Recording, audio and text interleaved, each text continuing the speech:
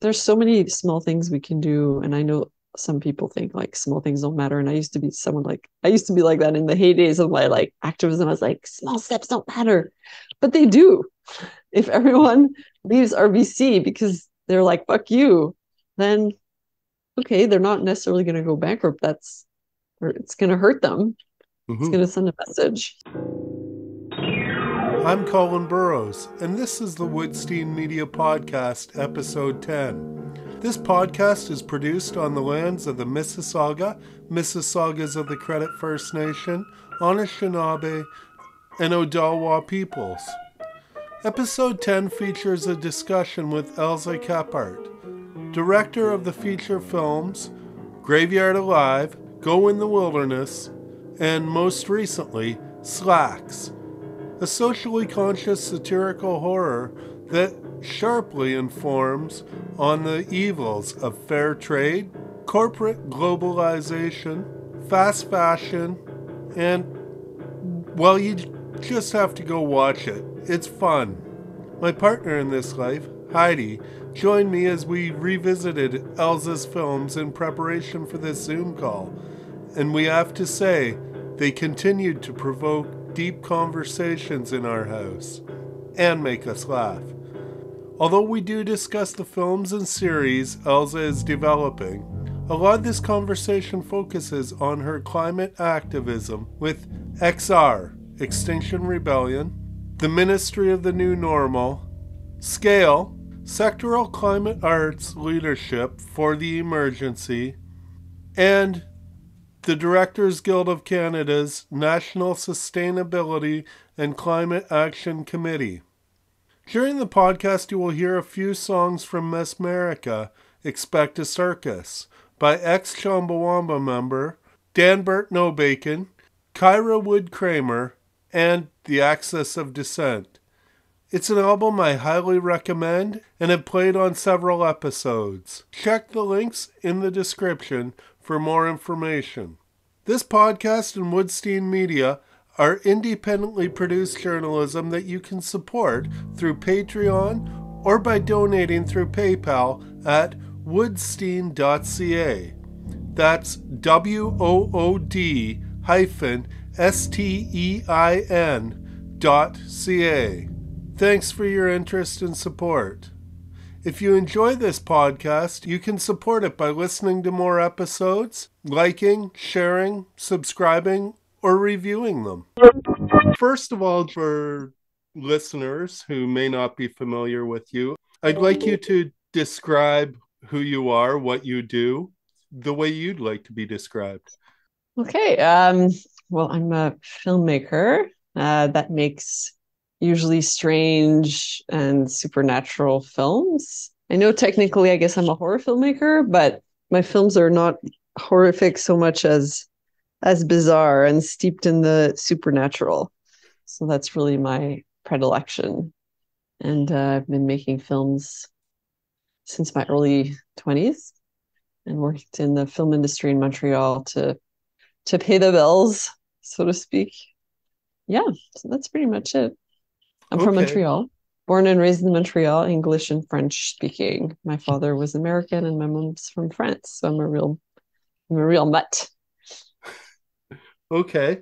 Um, and then on top of your filmmaking, you've uh, been involved in climate action, right? Right. Oh yeah. For yeah, I mean it's very recent. So in 2018, I read the Secretary uh, General of the UN's sort of call for action for climate change and the ecological emergency. And I hadn't really been aware of the gravity of the situation before. I sort of knew vaguely there was a problem. And so that really prompted me to act. And so I dove deep into climate activism and I've been doing a bunch of stuff um, until recently. And then now I'm in Morocco because I spend part of the year here with my husband. So that's been on hold because I can't really do much out here. N- nor would I. Being political here is much more dangerous than in Canada. So for our our well-being, I'm I'm staying put. Okay, well, I want to talk a little bit of your history of action here in Canada. Um, Cinema for the Climate, was that where you started bringing in the climate action, or were you doing it before that? No, I started really in 2018. I went to a march in Montreal, and the speakers at the end were talking about Extinction Rebellion. And I was like, oh my God, this is like what needs to be happening. Not, I wouldn't say naively, but in a way, I got really fired up and I I had never really done any activism before. So I started the Montreal chapter with two other guys and we like dove right in and gave classes and I mean not that I knew anything really, but gave presentations, I should say, and then started doing actions probably six months after. So I was with XR for about another year. And then the pandemic hit and everything sort of fell apart. And then myself and another activist who I'd met through Extinction Rebellion started another group called the Ministry of the New Normal, a, a female affinity group. And that was much more, much closer to what I do. So we had characters, we had like a narrative, we did little videos, we did actions as our characters. So we did that for two years. And then my life really changed when I started to go to Morocco more. And so my the group sort of well disbanded informally. We weren't like, we're done. We we're just like, well, I'm one of the leaders. I'm not here. The other women all had different priorities at that point in their lives. So that's and cinema for the climate. I mean, to be honest, it's not really that active. It was more of me being like, we need to do something in cinema and trying to recruit friends to help. And then realizing it's too much effort for very little return. So I, it's still on my website. Maybe I should take it off. Okay. But it's not. But it's not because in a way it gives people resources. It's sort of also linked. I, I was. I mean, I'm still a member of the DGC's, the Directors Guild of Canada's Climate Action Committee. But now that I'm in Morocco, I can't participate. The meetings are too late in the day, and so when I'm in Canada, I participate. And I was I, I, was on that committee since I think the fall of 2020, and so I ended up coming up with tips for filmmakers and putting that on on my website, and that's sort of the extent of what that is right now. Okay. So, what do those tips look like? What changes are you hoping to see, or is the Directors Guild uh, Sustainability and Climate Action Committee hoping to see with these tips, or what does that look like on well uh... they really want to reduce the the carbon footprint of productions. Productions are extremely carbon intensive film, film and tv productions. So it's and because film is always in like an urgency mode it's really hard for people to stop and sort of plan initiatives to reduce their carbon footprint. But because it's a lot of studios have started to do it and, and really implementing it in their practices and what they expect from service productions, I think it's been trickling down to Canada. Um, I mean, it's like every everything from changing your fleet to EVs or reducing the the size of the cars used to using tie-ins instead of diesel generators, uh, making sure to reduce food waste because that, that's a big producer of methane in the dumps reducing paper, you know, reducing flights. So basically, reducing inefficiency and uh, also in the art department, making sure that instead of throwing away sets and props, and that everything is recycled and repurposed and goes back into the chain, the consumption chain. So it's really a different way to, to see a production. And the DGC wants people to really start thinking about it from the beginning. So even before going into production, like as you get the money, you, you sit down with all the heads of departments, and it's usually a someone higher up, like a producer or director, who's going to be the driving force and say, well, this is really important to me, and this is what each department should be looking into to reduce their carbon and waste footprint. So, I mean, it's hard from what I understand, but they're they keep plugging away. They have a really good website, and I think they are making some headway. I know in Vancouver they're pretty advanced. Quebec not so much, but um, but it's with filmmakers who aren't going to decide to to take that into account from the beginning, like from the conception of the production setup, basically. Okay. If someone, if no one leads the way, then the departments are not necessarily going to do it. Or if one department does it, you know, that's not really enough. Or if like a coordinator wants to do it, but no one else does, then he or she are by themselves trying to to force people to change and they don't really have the power to. So So your films are you've worked on big ones as a crew member, but on your films they might be a little smaller. But has there been a big change in the way things work on your sets since you started or have... well to be honest like slaxx was made just as i was sort of awakening to this crucial need and so no we didn't really do much on slaxx because we shot slaxx in february 2019 i actually didn't know as much about uh, production sustainability as i did as i do now. Um, and i haven't shot another film since. So but but hopefully knock on wood. Um the next one then yeah I'll, I'll talk to the producers and i'll make sure that that's part of our game plan that we and you know gather all the the up-to-date information and and uh, disseminate it and have meetings and and make sure that everyone's on board even when they're hired like you can make sure that when people are hired you tell them that this is one of your goals and if they're on board great and if they're not then they might not be the best person. But it's hard in film because you want to pick the best craftsperson and hope that they're also on board with the, your sustainability goals, which is not always the case. But I haven't tried yet, so hopefully they'll all align. And it does look like you have a few things on the horizon, a few series. If your website's up to date, potentially coming along, and it's in development so it's hard to say you know like yeah. i can i have so much in development but i've there's a lot of projects that i had i worked on very hard that never got made so i'm always a bit hesitant to be like oh this is going to be the next one because then i'm like so sure and then it's like no actually this doesn't work but yeah i'm developing i have three tv shows and then another two features at really various stages of development and i would say two of those tv shows have a environmental or climate action perspective. But there are, you know, one is su- a supernatural mystery, and one is like a violent satirical comedy. Okay. Like, not, it's not a horror. There's no supernatural elements, but it's definitely like bloody and over the top. okay.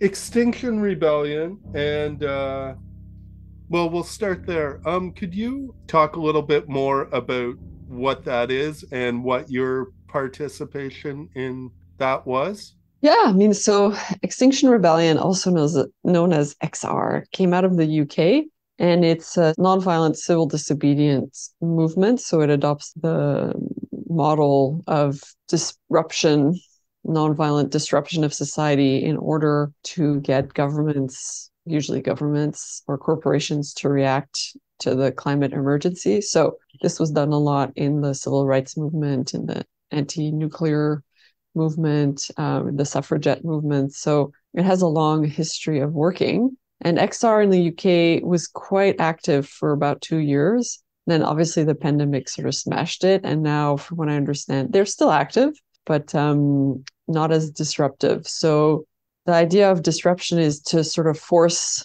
the issue into society. So you do disruptive actions and then you get press coverage, and then people go, oh my God, there's a climate emergency. But to be honest, like I'm really sad to say that even though that has helped because it, it's helped galvanize people's uh, realization of the climate emergency, it hasn't done much to move governments, certainly not corporations. Um, I think we're in a much different society now than we were in the 60s not to say that civil disobedience doesn't work. I think it does work in certain points, like the the Fairy Creek blockades. You know, it works for very very specific problems, but so, something so huge as what is causing the climate and ecological breakdown, which is our modern way of life.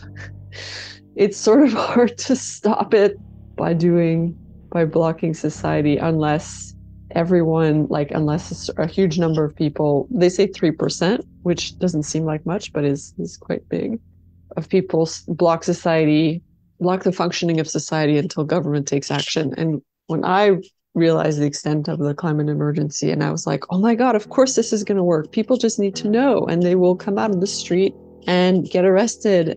And that wasn't the case. People were like, yeah, I know it's a problem, you know, but whatever. What are we going to do about it? And I was like, well, you could join us, you know? And they're like, well, I don't know. I don't want to get a police record. I want to go to Cuba. This like I know I'm I'm sounding like a bitch, but that's basically what what I was said to me a lot, and it was very discouraging because like I can see the effects of climate change in Morocco, and it's people who've done very little to cause this are suffering the most. You know, like including my husband and his family, who were nomads, and a lot of them had to give up their nomadic lifestyle because of the drought in Morocco. So I don't know. To be honest, right now I'm like, I'm in Morocco, la la la. I don't know what to do. Maybe I'll just make crazy films with that message. And, you know, maybe diving into activism was helpful to sort of open up my eyes and give me a new perspective. But I don't know coming back to Montreal what I'll do because I, I don't think that movement is really active anymore that much. And Quebec is a very passive society, so people don't get mad really that much. They're like, you know, don't make trouble. like they're not like France where you know you move a comma in the constitution and they're like up in arms and everything's blocked for for weeks and weeks which is both good and bad i guess but the it's not a society thing about you saying that is where i am in ontario we talk about quebec like whoa those people get mad. We don't get mad. Oh my god. I guess it's always compare and despair right? But yeah I mean, we were a small group, but what we found was that it was really people who almost were outside normal society. Maybe that's how it is everywhere, but who got so mad that they were willing to do something about it. But like everyday people, like in France, like the Gilets jaunes, they really disrupted society, and that was from every angle. But in Quebec, unless I mean, it's it's good that we make noise, but we're very few like the rest of society. They'll come out for protests and stuff for like peaceful marches, but they won't do anything that disruptive. Okay. And it's just a perception. In this and in perceptions, um words like emergency, they get thrown around and then it seems they get absorbed or whatever. And even the corporations who are perpetuating this will use the word emergency, but they they won't you know, change their actions, their own actions, to show that it is an emergency and it is something that people should be treating like their house is on fire. Yeah, the the way that those things get absorbed, I, I guess what I'm saying is it seems like those can be really frustrating to people who want to make a difference. And how do you feel about that? Well, I'm not surprised. Like corporate corporations are pretty much evil monsters. Even though I wasn't a climate activist, ever since I was quite young, I've been bizarrely aware of corporate evil.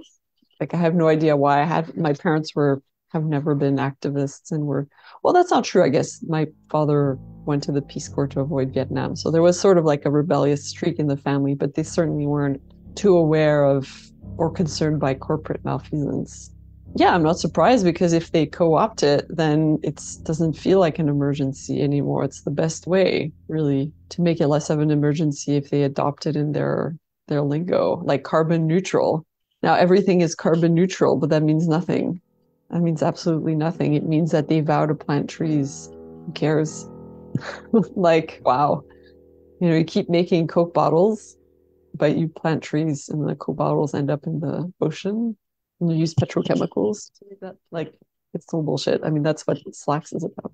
Yeah, it's frustrating, but it's not. It's I'm not surprised. I, I guess in a way, it's not frustrating because I'm not surprised. What's frustrating for me is people's inaction. People who don't really think this is their problem, and who just continue with their lives as if it was business as usual. You know that something that affects us all and is going to affect us all very much sooner than we think. I mean, is it like last summer was a nightmare with all those fires? Mm-hmm. Yeah. It's only going to get worse. Like, I don't understand what people don't understand. Yeah. and, and I mean, I look out my window and the weather, a winter around where I am has completely changed. And mm. it, it's not like we have one winter that's a little different than the other ones and then it goes back to how it was before. It, it's progressively been changing, and it, we used to never get as much rain in January and February as we're getting now. It used to all be snowstorms, and the climate around here is I don't know what to say. It's fucked, fucked. up. Yeah. Yeah. Um it's it's totally different than it, it was years ago when I was growing up. And we can see that and we talk about that, but it seems people talk about it but are not prepared to do anything more than talk about it a lot of the time. It's it's not something that's going to change if if we're no. not willing to do more than talk about it. Um, no. Can you tell me more about sectoral climate arts leadership for the emergency? Yeah, that was well. That it's also something that because I'm in Morocco, the meetings are too late, um, and it's also morphed. So I sort of lost track of it uh, after I came here. That was started by some key figures in the art world, and it's basically to try to leverage the power of the um, cultural industry for change. So they do a lot of lobbying. They, there's a lot of members like theaters and museums. It's more I don't want to say corporate, but it's it, you know it's established art organizations who are rallying together to push for change in the government in in arts funding. They want to the government to fund arts that addresses the climate emergency. So it's a real, I would say, they're pushing for like a shift in perspective and what the arts, how the arts can affect people to really come to realize that this is an emergency. I know talking about an emergency, it's ridiculous because it's like if this was an emergency, we'd be doing something about it. Yeah, my friend Anthony Garoufelis Auger, who I co-founded XR with, was one of the co-founders. I don't know if he was a co-founder, but he was definitely one of the early coordinators of Scale. So he got me on board. But like at first, it was trying to brainstorm and do actions and stuff. But now I'm not sure what they're doing. I feel like being out here, I've really like stepped out. But it's it's at least to say it's it's encouraging that people in the arts who you wouldn't think would be necessarily activists, they really feel very deeply. Obviously, artists feel deeply. That's why we're artists. And so they're willing to really re-examine how they create their work and the impact their work has on the environment and climate. So that's another part of what scale is, is like trying to implement like the DGC basically, like how to reduce our carbon footprint by making art, different kinds of art. And there's a lot of stuff going on in the arts. There's a huge a huge upswing, like groundswell of people who, who want to change how the arts are made and what the arts can do to address the climate emergency. So yeah, it does seem like in the arts there's always people who are thinking a little more progressively and want to be more inclusive, want to tackle many of the social problems that we have.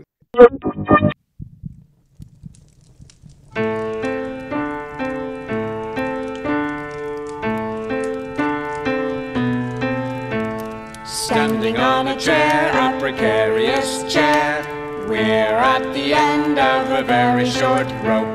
We don't want your thoughts or your prayers or your hopes. We want you to act like the house is on fire, cause it is. Cause it is. Help, help, the world is on fire, cause it is. Cause it is. Help, help, the world is on fire, and we need a world of helpers down from here.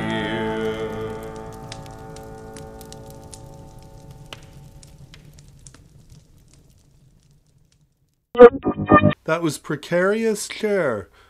The House is on Fire by Danbert Nobacon, Kyra Wood Kramer, and the Axis of Dissent. Yeah, the other thing is your movies. Watching your movies again and we noticed a theme that might have been totally intentional, going all the way back to Graveyard Alive, which you told me you, are getting a 20th anniversary. Uh, yeah, re-release on Blu-ray. Woo! okay. Um, so the one theme, and it may have been totally intentional, but we noticed it more because um, gaslighting is it's one of those phrases that's in the media all the time now. And the character of Goody Two Shoes, who we find hard to like, but um, we we were very sympathetic because all throughout the movie, she ends up being told, you know, she's hallucinating, she's paranoid or crazy. So mm-hmm. we viewed it with that eye on modern mm-hmm. media. And was that something you were thinking about when you were writing it way back then? Or I didn't even know the term gaslighting. I mean, I just know that that's how women have been treated for centuries.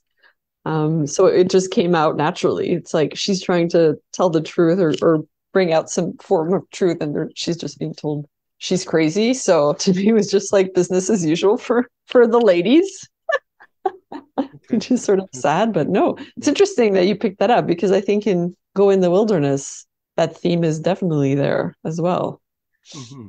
and Slaxx too, of course. Yeah. Okay. Yeah, we got through. uh Graveyard Alive and Go in the Wilderness last night. and We're gonna rewatch Slaxx probably tomorrow night after work. Oh, a mini Elza Kephart festival. I love it. Yeah. Yeah, we love it too. And we're excited, hoping hoping some of those things you have in development get picked up and go through. And two years I've been working on some of these these suckers for like 20 one was 20 years oh, one is like 10 years and one is pretty recent but then another is about five six years? I guess including another draft it's almost 10 years. I take a long time. Well graveyard alive was done very fast but the other ones were were not so it takes it takes a while but i hope so. I hope especially the environmental ones get made because i think those are really relevant. So those are the ones that i most like to get made.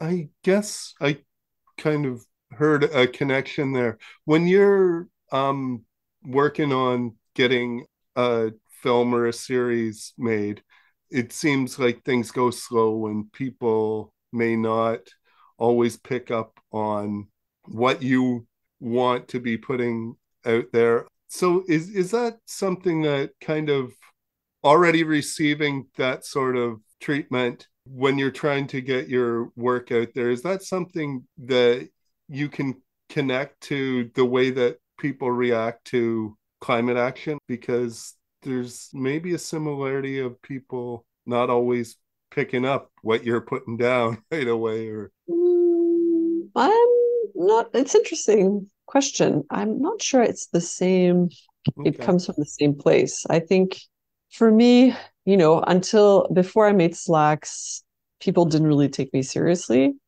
But I think partly it was because I was a woman, because there was a lot of there was a lot up till you know five years ago. I would say uh, there was still not a lot of women directors.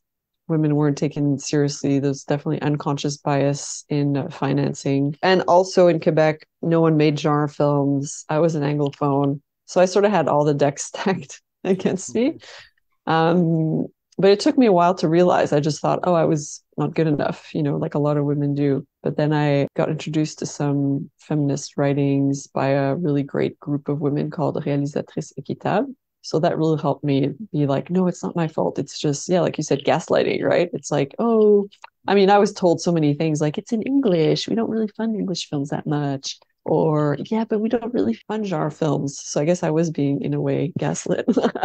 But then i i made slaxx and i knew i was like if i make slaxx i bet things are going to change and people definitely take me more seriously now. So i think the stuff that might have been too obscure before now people are going to pay attention to it. Doesn't necessarily mean that it's going to get made but at least now i've got like a, a foot in the door and i've got a I have a lot of great reviews and slaxx did really well. So people are going to actually listen and be like, oh, maybe, you know, she has something to say rather than be like, oh, this is too weird. Or like, we're not sure you're ready for this. How many times did I hear that? but but for climate activists, to go back to your question, I think climate activism it's more that people don't want to change or they don't want to really understand the amplitude of what's going on or even if they do it's too much i get it like they don't want to have to do anything because it's just too much once you really start to think about the magnitude of it so i think it comes from a different place but yeah for sure it's the the results can be similar similarly frustrating we already talked about your films or series in development. Are they too early? Do you want to go into talking about no. them? Okay. Yeah, sure. Yeah, sure. I mean, the one that I would say is the most relevant.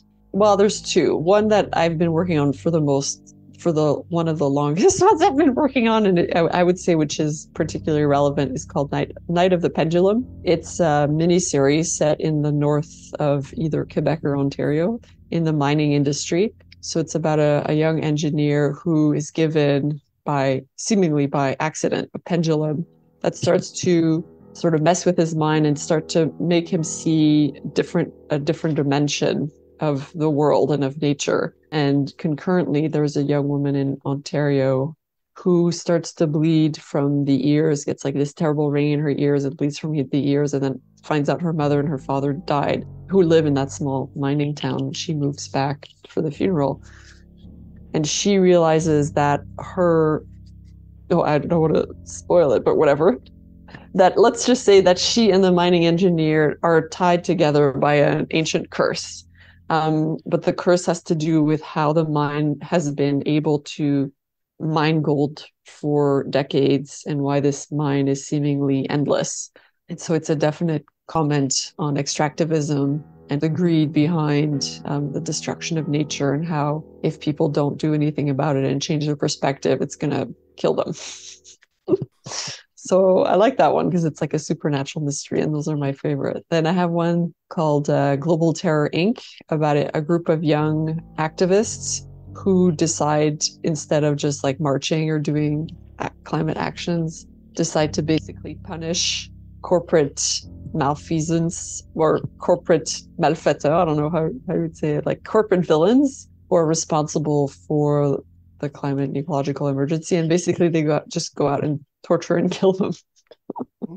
and they have a, like a, a grand plan. It's it's like Slaxx in a way. So it's a critique on obviously corporations and um, but it's funny. It's like humorous and satirical. So that one would be a lot of fun. And then i have a vampire series that i've been working on with the Slaxx co-writer patricia gomez zlatar for like 20 years. It used to be a feature and then it didn't quite work. And then we turned into a series. No one's picked it up yet but i think it would be a lot of fun and then i have a feature film that i'm with the Slaxx producers it's a more like a possession, like a bizarro possession story. I would it's not a ghost story quite, but it's like a psychological possession story.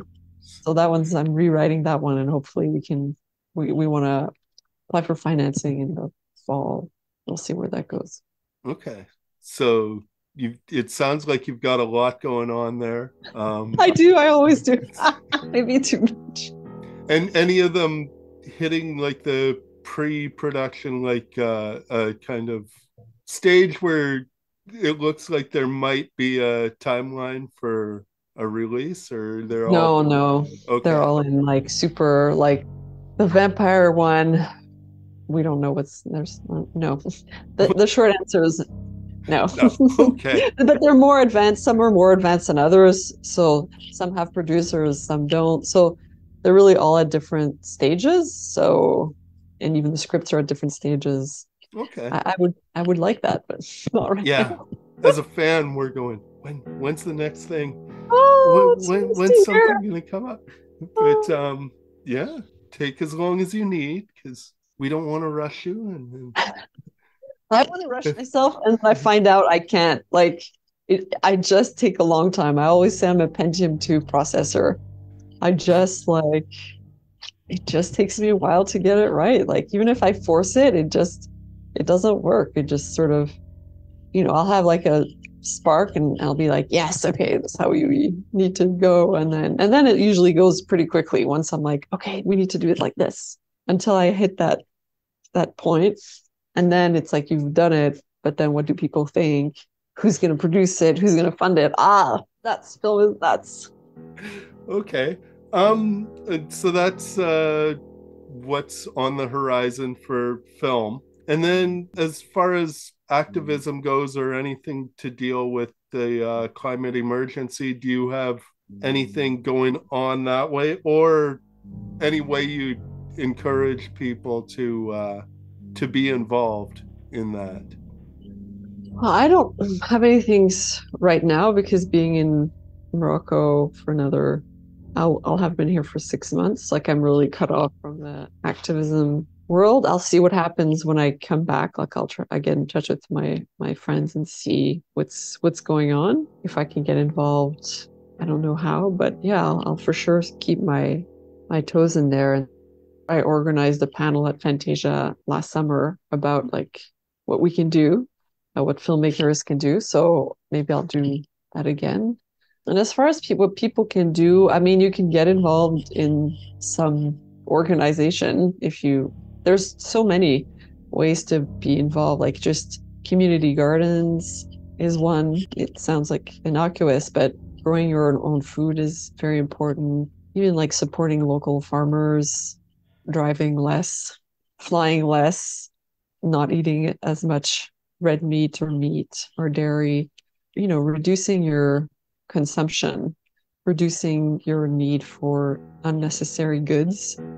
You know, our society is really great at like making us want stuff and then once and then it breaks after 5 days and then you have to get something new because no one can repair it. But being in Morocco has really changed my outlook. Like people here, at least where I am, not everywhere. Of course, I can't speak to all Moroccans, but there's this whole swath of, of population here in this town.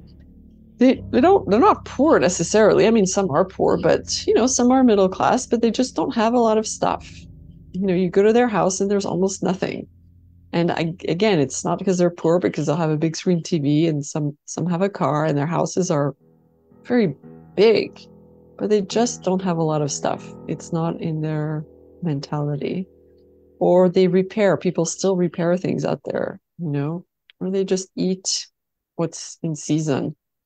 Like my husband is a great one for just repairing things until until you can't repair them anymore. And he repairs them himself. I mean, he's very handy, but not everyone can do that. But just changing our our mentality instead of throwing things out or wanting the latest iPhone because just because it's come out, you know, just wait until your old one is not good anymore and then change it rather than like jumping on this fad. And like fashion is just terrible. I mean Slaxx is all about that but like mm-hmm. overconsumption of fashion. If you go to a mall if you start to see how how many clothing stores there are in our cities in the malls it's ridiculous. It's grotesque. Like just we're used to it so we go walk in and they're like oh yeah it's like 80% clothing stores in the mall but why like it's nuts. It's really, it's really nutty. So changing, trying to change your outlook about what you really, really need instead of what you want. And credit is so easy, has made it so easy for us. Like in Morocco, I think one of the reasons people don't have a lot of stuff is because it's really hard to get things on credit here. A lot of people can't have access to credit, so they have no choice. They can't buy it. But I also think some people just don't because that's not in their culture to to consume which i think is good so, so try to like do like southern rockets and don't buy anything no but just re, re rethink what you need you know and and just mm-hmm. make your life a bit which is a big change to our culture here in canada like we're we're wasters. We've been raised that way. We've we've become used to it. It's i mean really looking at other cultures and seeing how we can adapt. I mean, we think we're still superior with our technology and, and all that crap, but actually, when you look, when you turn the change the way you look at things, it's there's a lot of stuff about our culture that's really grotesque in a way, especially consumption, overconsumption, and filling your every waking minute with with stuff, you know, with information or emails or like we can't just sit still and just live you know we have to fill ourselves every which way and i think that's very problematic i could go on about why i think that is but but I do think it's like it's more a philosophical question in a in a sense. It's not just like oh corporate brainwashing, brainwashing. It's like a, a loss of of sense of what why we're here and what the point of our life is. And so we can just fill it with stuff and useless information to stop us from thinking. Okay. Um, you know, just cause I just on a light note, call it on a light note. But I I do think that's part of the problem. Well, I mean, in a way,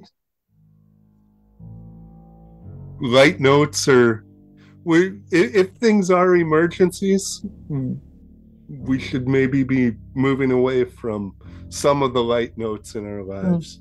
Mm. Um, but anyways, I think we've got a lot here, and I really thank you for talking to me. And how do you wanted me to say again how special your movies have been for Aww. us? And um, so thanks. Yeah. Um, so unless is there anything else you want to get out there to people that you can think of off the top of your head? Mm, I mean, yeah, that we are in like a critical point in the history of humankind, and that it's not a joke.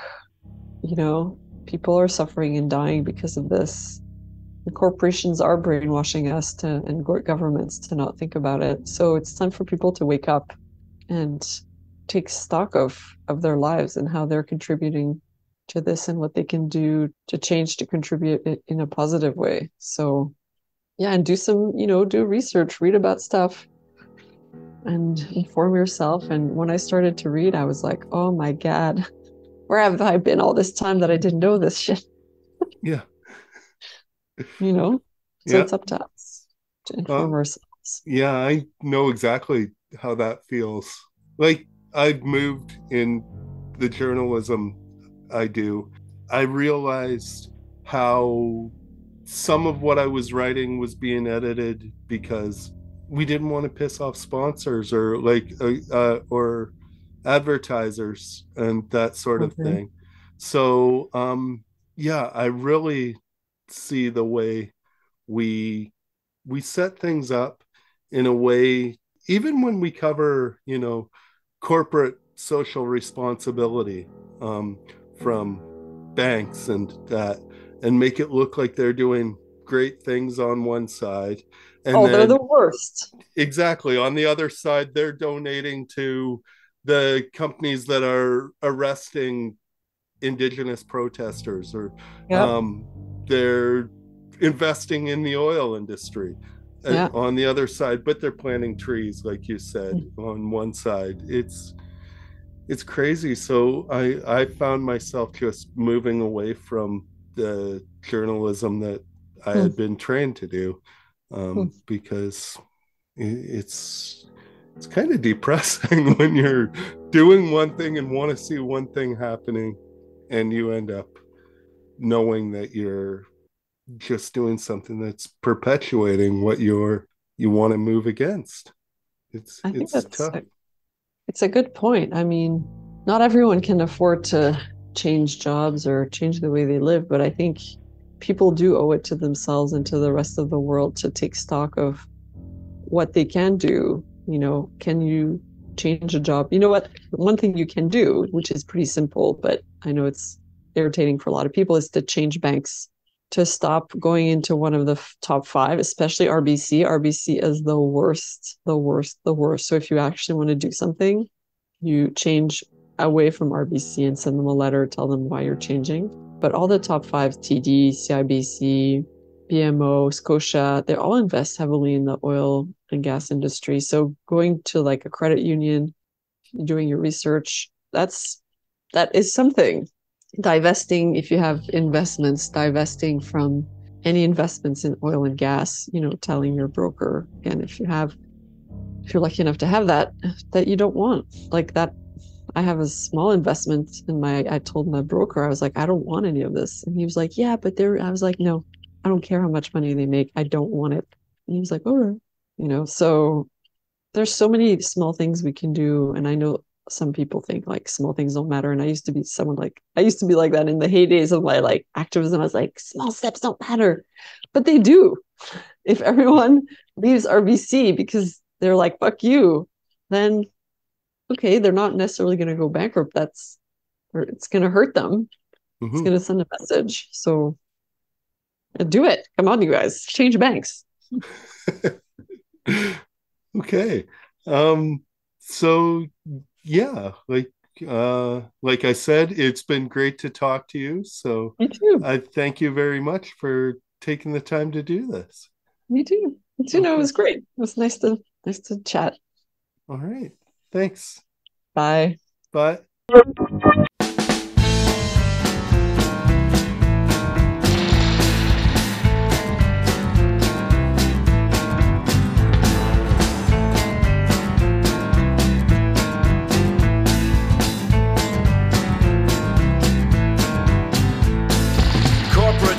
Responsibility You couldn't make it up But some stupidly rich, rich folks did. as another way of cleaning up. Fairy tales of endless economic growth, Approved by a think irony, tank. and that's designed to make the customer feel. His new best friend is a bank.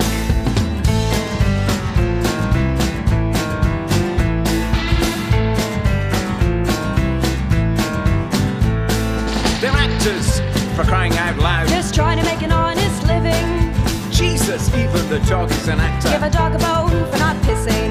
Unreadable small print telling us nothing. About what's coming down the pipe. Big banks investing in said pipeline.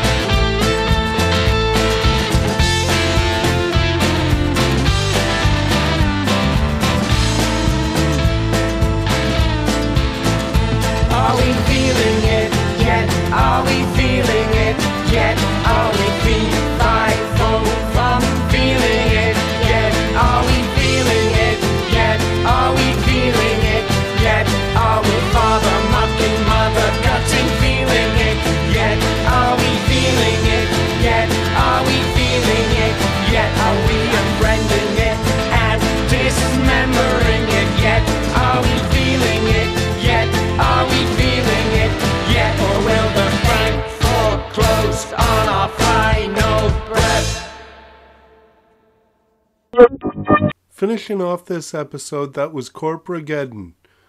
Once again, that was Danbert Nobacon, Kyra Wood Kramer, and the Axis of Dissent. Thanks to Elza for the interview. Check the description wherever you are listening to this for more information about her movies and possible series, or visit woodstein.ca. That's W O O D hyphen S T E I N dot C A. You can support this podcast by becoming a patron at patreon.com slash Colin Burrowes. Like, share, comment, follow, and support Woodstein Media and this podcast, and have a wonderful day. Thanks.